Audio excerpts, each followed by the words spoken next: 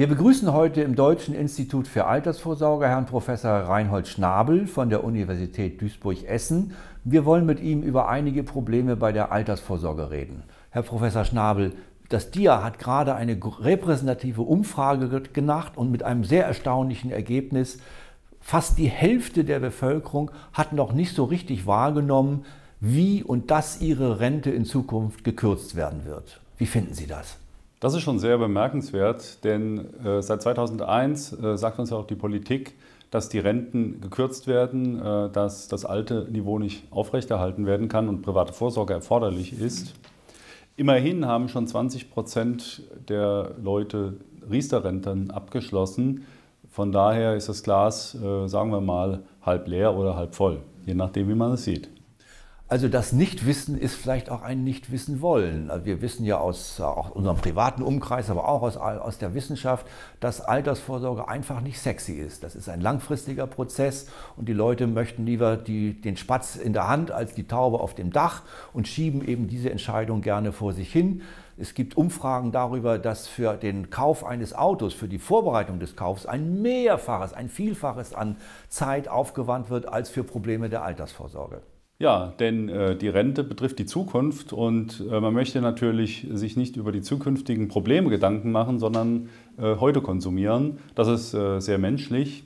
Es kommt aber noch hinzu, dass es einfach zu wenig Wissen über finanzielle Fragen in der Bevölkerung gibt. Hier müsste deutlich mehr getan werden. Das fängt schon in den Schulen in der Erziehung an. Wir haben auch nach den Inflationserwartungen gefragt und danach sagt äh, die Bevölkerung, wir rechnen in Zukunft mit zwei bis vier Prozent ungefähr. Wie finden Sie das? Hier liegt das Gefühl der Bevölkerung gar nicht so richtig falsch, äh, denn das entspricht in etwa dem Schnitt der letzten Jahrzehnte in der alten Bundesrepublik. Das waren ungefähr drei Prozent. Ich glaube aber, dass sich die Bevölkerung nicht über die langfristigen Konsequenzen der Inflation im Klaren ist. Ja, das haben wir nämlich auch gefragt. Wir haben dann gefragt, was glauben Sie denn, wenn in, innerhalb von zehn Jahren, wie hoch ist der Kaufkraftverlust äh, von 100 Euro? Und dann haben die dann doch gesagt, ja, das sind dann vielleicht 80 bis 90 Euro noch. Ist das korrekt? Ja, da hat sich die Bevölkerung natürlich ein bisschen verrechnet. Ähm, bei ähm, einer Inflation von 3 Prozent werden aus 100 Euro leider nur ungefähr 70 Euro auf 10 Jahre gerechnet.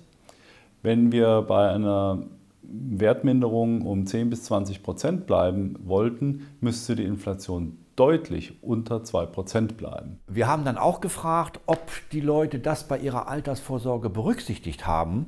Und äh, da haben doch erheblich viele gesagt, das hätten sie noch nicht gemacht. Wo liegen da eigentlich die Probleme? Die gesetzliche Rente ist prinzipiell inflationsgeschützt, weil sie an die Löhne gekoppelt ist. Und die Löhne steigen mit der Inflation? Erfahrungsgemäß steigen die Löhne in etwa mit der Inflation. Das heißt, wenn die Inflation hoch ist, sind die Lohnsteigerungen auch entsprechend hoch. Ja, wo ist denn dann das Problem? Es gibt mehrere Probleme. Erstens, die gesetzliche Rente wird bei Durchschnittsverdienern von 50 auf 40 Prozent absinken. Und äh, das wird bedeuten, dass es auch für den Durchschnittsverdiener nur noch eine Basisabsicherung geben wird. Bei Gutverdienern wird das Rentenniveau sogar nochmals deutlich niedriger liegen, etwa bei 30 Prozent. Und das reicht niemals äh, für eine Versorgung im Alter. Hier muss kräftig gegengesteuert werden mit einer entsprechenden privaten Vorsorge. Und gibt es bei der privaten Vorsorge denn Probleme mit der Inflation? Bei der privaten Vorsorge werden meistens feste Sparraten von 200 oder 300 Euro vereinbart. Und wenn das im Laufe der Zeit nicht erhöht wird, dann kommt es zu einer zu geringen Ersparnis. Gibt es da irgendwelche Faustregeln, wie man das organisieren kann? Man sollte einen bestimmten Prozentsatz seines Einkommens sparen. Das heißt, wenn das Einkommen ansteigt, dann wird die Sparrate auch zunehmen. Wenn die Inflation ansteigt, dann wird auch die Sparrate zunehmen. Als Faustregel kann man sagen, bei jungen Leuten ungefähr 5% des Bruttoentgelts zu sparen. Bei etwas älteren äh, sollten es ungefähr 10% sein. Damit kann man die Rentenlücke füllen. Und haben Sie irgendwelche Vorstellungen, mit welchen Produkten man das machen sollte? Diese Detailfragen äh, sollten man durch den Vermögensberater beantworten lassen. Es gibt aber einige Produkte, die äh, gut in Frage kommen, die einen Inflationsschutz bieten oder Garantien. Und was halten Sie von Riestern? Für die meisten Beschäftigten ist die Riester-Rente genau das richtige Produkt. Sie ist transparent, sie ist einfach abzuschließen. Es gibt die Zulagen. Von daher äh, ist es äh, hier ein gutes Produkt. Man kann auch die Sparraten mit der Zeit steigern, aber die Möglichkeiten der Riester-Rente sind ja nach oben limitiert.